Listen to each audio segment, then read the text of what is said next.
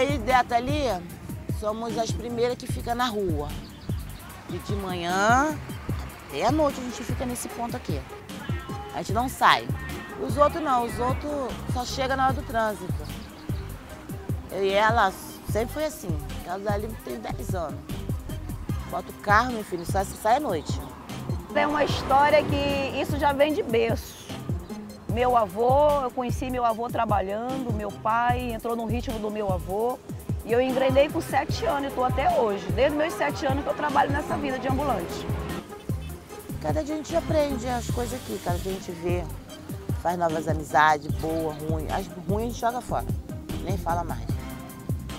As boas a gente guarda. Vai conquistando cada dia mais freguês. Às vezes passa um desgraçadinho, mas conforme ele vai lidando com a gente, a gente passa a respeitar a gente.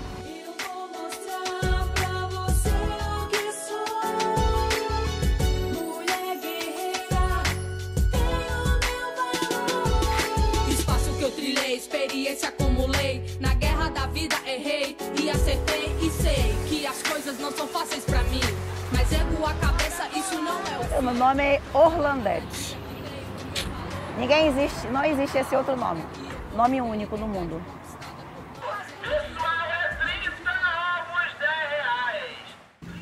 Meu nome é Lília. Eu moro em Itaguaí. Mas quando eu vim pra cá, eu morava na Vila Kennedy. Minha irmã veio morar aqui, eu vim visitar ela e tinha umas pessoas trabalhando. Na outra semana eu voltei e fiquei. Aí eu tinha um comércio, o comércio vendia muito pouco. Aí me disseram, me chamaram para cá, aí eu vim com a minha bicicletinha, botei umas águas, uns guaracampo e vim para cá. Aí gostei, fechei o comércio e tô aqui até hoje, 10 anos. eu sempre trabalhei para mim mesmo. Aí aqui foi um motivo para mim trabalhar para mim mesmo. Tava, tava vendo, vendia bem.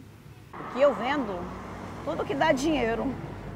Tipo, vou criando suco, biscoito, doce, o que onde estão me pedindo eu estou trazendo para cá. Eu vou, estão me pedindo isso, eu vou lá e compro. Onde dá dinheiro, mas o forte da pista aqui é, é água, pele e pipoca. E o suco, né? Que agora o, não era suco. Agora o forte da pista agora é suco, que dá mais. Aqui, dá um lucro melhor. Tu ganha melhor.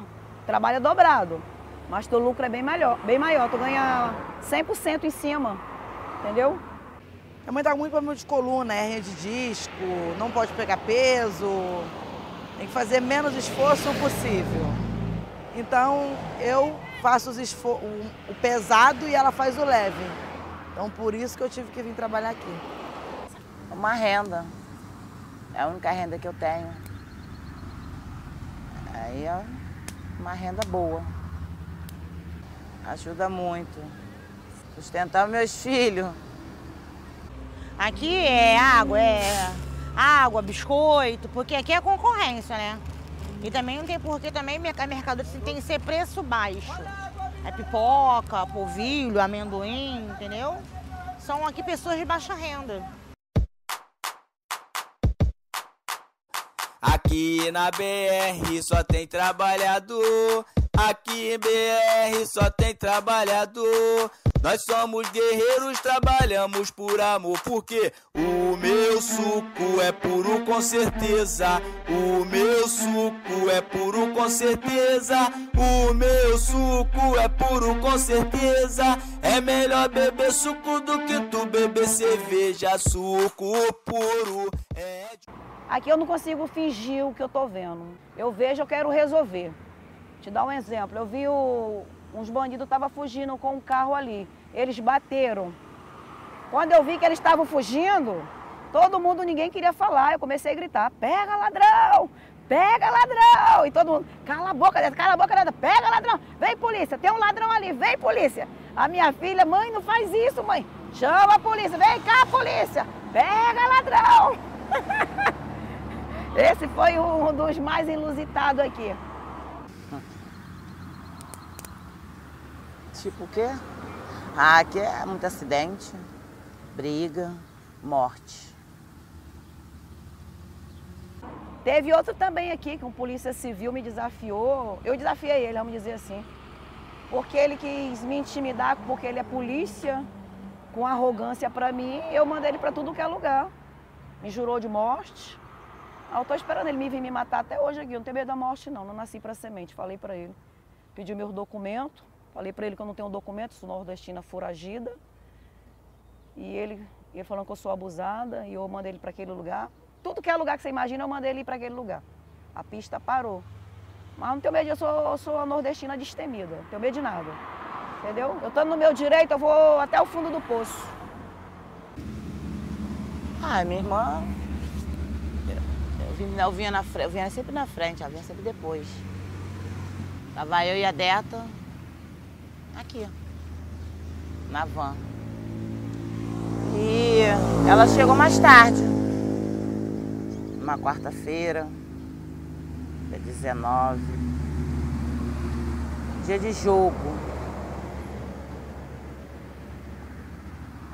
Mas aí não tinha trânsito não. Está tudo sentado ali.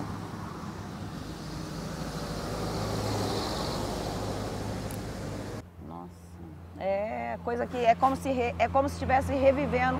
Fica na nossa mente ali direto. Onde está o isopor dela ali parado, do nada. É como se eu estivesse aqui conversando aqui com ela. Eu estou conversando aqui com ela aqui. Estou conversando com você como se eu estivesse conversando com ela. Aí do nada, não tinha engarrafamento, não tinha nada, a gente conversando com ela. Aí ela chegou, eu e Lili estava sentada conversando. Aí ela Simone chegou. Aí eu falei, Simone, senta aqui que você está cansada. Falei assim, ah, Deta, eu vou sentar, que eu estou muito cansada mesmo. Aí veio um, uma camada de carro. Aí veio logo em seguida veio uma patrulha. Eles não, não viram. Quando o motorista da, da patrulha freou, o de trás estava com o dedo no gatilho, que a arma dispara, a arma destravada. Aí acertou minha irmã, minha irmã caiu no chão. Ainda pensei que era brincadeira dela, fiquei zoando ela.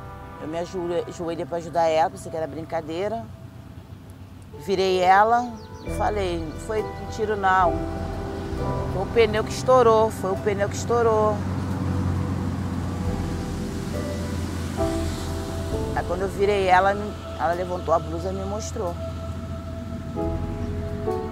Ela me mostrou, eu vi um buraco. Aí foi a hora que eu comecei a gritar, a polícia estava passando na hora.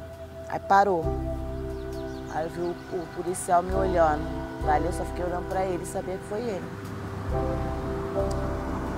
Aí eles ajudaram, levaram para o hospital. Na porta do hospital, ela olhou para mim e foi embora.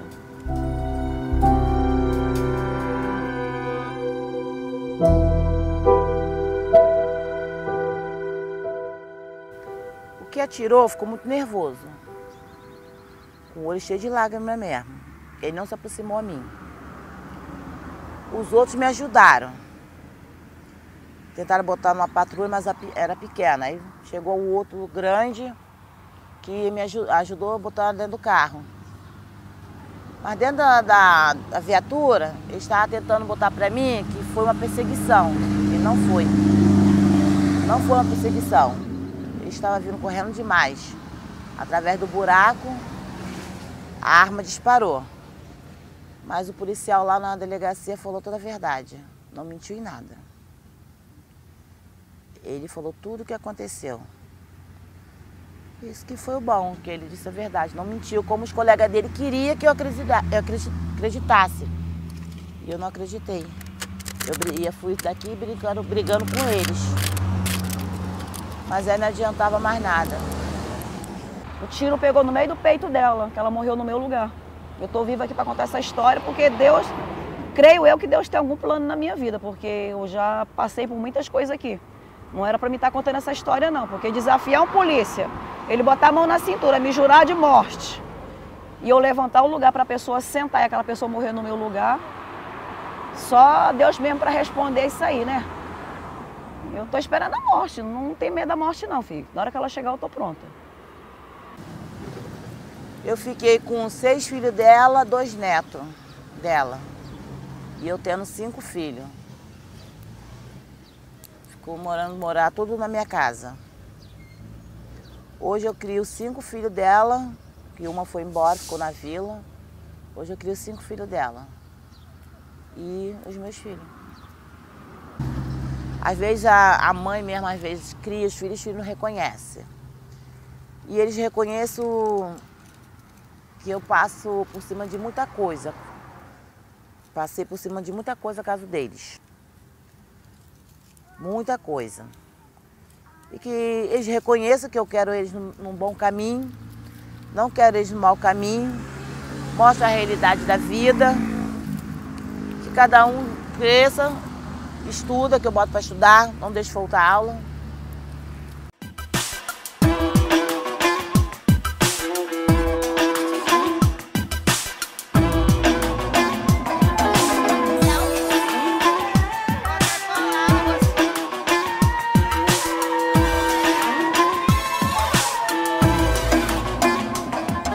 Vamos ser, vamos ser direto. Tem uns homens acham que mulher trabalha na rua, são vagabunda, você mesmo. Que muitos homens acham que mulher trabalha na rua são isso, trabalha aqui, ó. Mas tem outros que respeita muito. Outros dá muito valor, reconhece muita gente aqui. Qual motorista? Ônibus, excelência. Motorista de carro? Tem que fazer reciclagem de todo mundo aí, filho. Ninguém dá passagem para ninguém, quer um quer ser melhor do que o outro, um quer ter o carro mais potente do que o outro.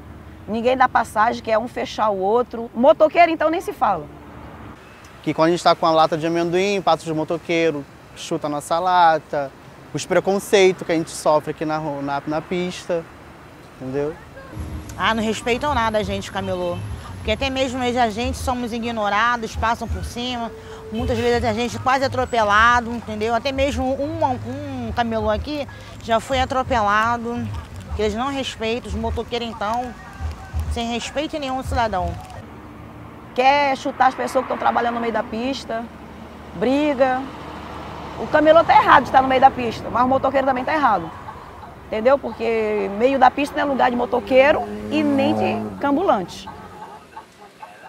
Meu sonho de vida é viver bastante, conhecer os meus netos. Ver meus netos, ver essas turmas crescer e cada um seguir a sua vida. Exclusivo os meus sobrinhos, porque eles só têm eu. Temos família, mas eles podem contar mais só comigo. Então, eu gosto do meu trabalho. Faço o meu trabalho, tudo que eu faço no meu trabalho é com muito carinho. Não faço nada porque por necessidade. Eu posso ter dinheiro, não ter, eu estou aqui. Posso estar chuva, posso estar sol, pode estar o, o, o que for, eu estou aqui. Eu não trabalho por dinheiro, eu, traba, eu não trabalho por necessidade, eu trabalho porque eu amo o trabalho. Eu sou viciada em trabalho. Sou